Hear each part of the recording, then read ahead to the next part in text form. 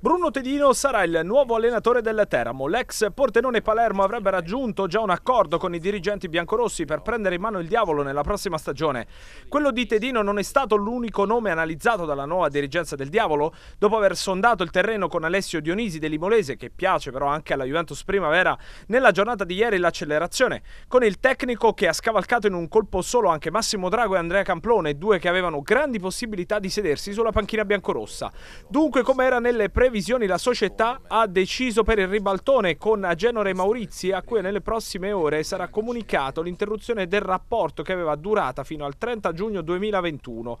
Adesso si ragiona sulla durata del contratto con quello che dovrebbe essere il prossimo tecnico, escluso l'accordo annuale proprio in virtù del fatto che la preferenza è per un progetto a lunga scadenza, dunque o un biennale più probabile oppure un triennale, con Tedino che nel caso dovrebbe risolvere il proprio rapporto con il Palermo prima di poter firmare con il Teramo. Con tutta probabilità insieme a lui arriveranno anche l'allenatore in seconda e il preparatore atletico, ma non il preparatore dei portieri.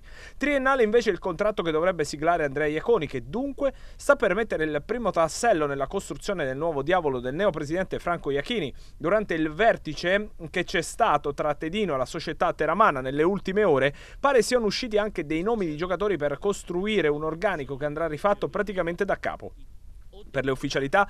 Bisognerà però attendere perché le questioni burocratiche passate del tecnico vanno prima messe a posto per poi procedere alla sua presentazione che dovrebbe avvenire nello stesso giorno di quella di Andrea Iaconi.